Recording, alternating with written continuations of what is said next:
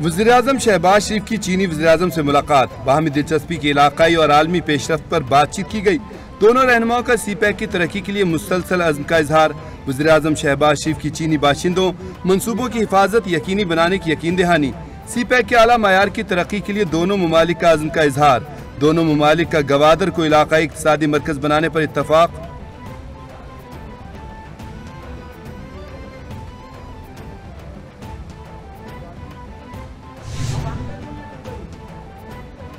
पाकिस्तान और चीन के दरमियान मुख्तलिफ़ शोबों में मुफाहमती यादाश्तों पर दस्तखत की तकरीब, टेलीविज़न, फ़िल्म, ट्रांसपोर्ट, इंफ्रास्ट्रक्चर सनत ज़रात की मुफाहमती यादाश्तों और माहों पर दस्तखत किए गए। सेहत, समाजी इकतदी तरक्की और बाहमी दिलचस्पी के दीगर शोबों में मुफाहमती यादाश्तों और माहों पर एम ओ यू साइन किए गए। मुफाहमती यादाश्तों पर दस्तखत की तकरीब में वजी अजम और चीनी वजी अजम की शिरकत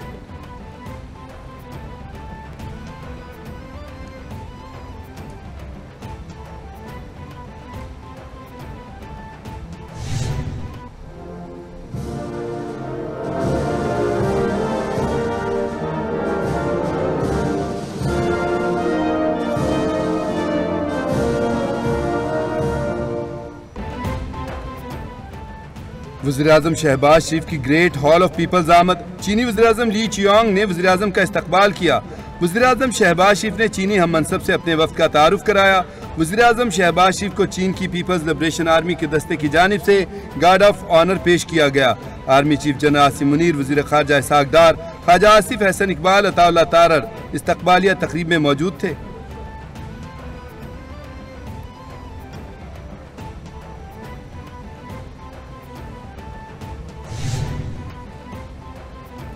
ईवान सदर में प्रिंस रहीम आगा खान को निशान पाकिस्तान देने की तकरीब तकरीब में आला शख्सियात ने शिरकत की।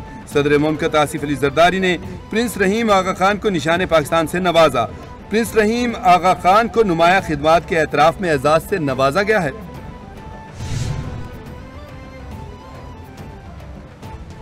एम के एम के रहनुमा शोला अंगेज बयान देकर मुआफिया मांगते हैं। अगर मुआफिया मांगनी है तो ऐसा बयान ही ना दें। एम के सियासत और मैंडेट किसी से छुपा नहीं। एम के एम जान बूझ कर माहौल खराब कर रही है। एम के एम अपनी सियासत चमकाने की कोशिश कर रही है। स्ट्रीट क्राइम्स के खात्मे के लिए कोशिश कर रहे हैं। कराची में बसने वाले हर एक शहरी की कीमती जान है। वज़ीर इतलात सिंध शर्जील इनाम मेमन की मीडिया से गुफ्तु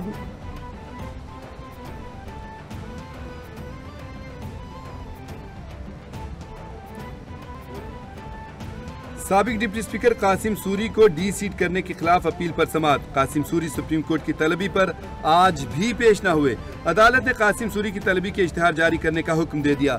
तलबी का नोटिस कासिम सूरी के घर के बाहर चस्पा करने का हुक्म। चीफ जस्टिस ने रिमार्क दिए कि कासिम सूरी की जानब से नोटिस वसूली से इज्तनाब बदकिस्मती है। सुप्रीम कोर्ट ने समात आइंदा माह तक मुलतवी कर दी।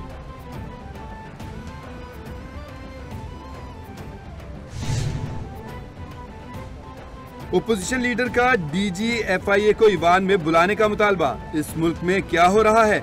आपको जेल से बाहर आने पर बगैर किसी पर्चे के उठा लिया जाता है। क्या ये जुर्म है कि आपका ताल्लुक पीटीआई से है? एफआईए की जानब से नोटिस आया। बानी पीटीआई के सोशल मीडिया अकाउंट से ट्वीट हुआ। मुझे तफ्तीश के लिए बुलाया गया। अपोजिशन लीडर उमर अयूब का कौमी असम्बली में इजहार ख्याल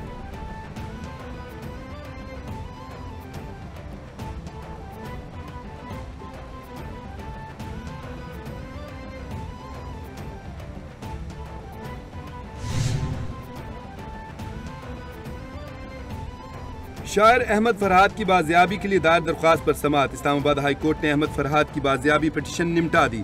जस्टिस मोहसन अख्तर क्यानी ने रिमार्क्स में कहा, मुझे अपने अहकाम पर अमल दरामद कराना आता है। मुझे लगता है हम यहाँ जितनी कार्रवाई बढ़ा रहे हैं, उसकी ज़िंदगी अजाब हो रही है। पहले एक मुकदमा था, अब दो हो गए हैं। कानून को एहतराम दें, जजिस समेत कोई कानून से बालातर नहीं।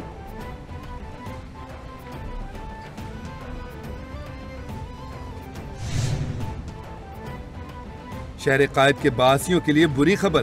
बिजली की कीमतों में बड़ा इजाफा कर दिया गया। नेपरा ने बिजली दस रूपए एक पैसे फ़ी यूनिट महँगी का नोटिफिकेशन जारी कर दिया। बिजली चार माह के लिए महँगी की गई। नोटिफिकेशन के मुताबिक जून में दो रूपए अड़सठ पैसे बिलों में इजाफी वसूल किए जाएँगे। जुलाई में तीन रूपए ग्यारह पैसे फ़ी यूनिट इजाफी वसूल किए जाएँगे। इजाफे का इतलाक के इलेक्ट्रिक के लाइफ लाइन और इलेक्ट्रिक व्हीकल चार्जिंग स्टेशन पर नहीं होगा।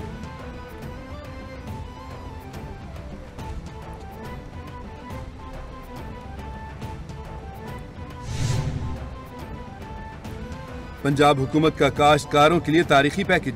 काश्तकारों का आसान कर्जों के लिए पंजाब किसान बैंक कायम करने का उसूली फैसला। काश्तकारों के लिए CM Punjab green tractor scheme की मंजूरी। वज़ीर पंजाब मरियम नवाज़ और सदर नून लीग नवाज़ शरीफ की जेर सदारत इजलास में अहम फैसले किए गए। वजी अला मरियम नवाज़ ने ट्रैक्टर पर महज छह लाख रुपए सब्सिडी की तजवीज़ मुस्तरद करते हुए रकम बढ़ाने की हिदायत कर दी।